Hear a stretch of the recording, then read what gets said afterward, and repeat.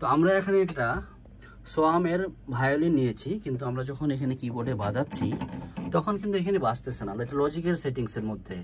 তো আমাদের যেটা কি করতে হবে, সেটা হচ্ছে আমরা এটার মধ্যে সেটিংসে গেলাম সেটিংসে যায় কন্ট্রোল ম্যাপিংয়ে গেলাম অ্যাসাইন অ্যান্ড মিডিক ম্যাপিং অ্যান্ড কুইক রিসেট এখানে গেলাম। এইখানে আমরা এই জায়গাটাতে গিয়ে এখানে আমরা অন করে দিলাম। এখন কিন্তু আমাদের বাজবে সিগন্যাল নিবে এবং বাজবে।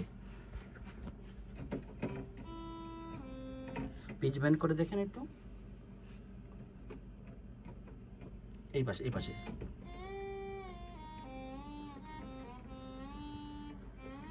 এইটুকুই আর কি দ্যাটস ইট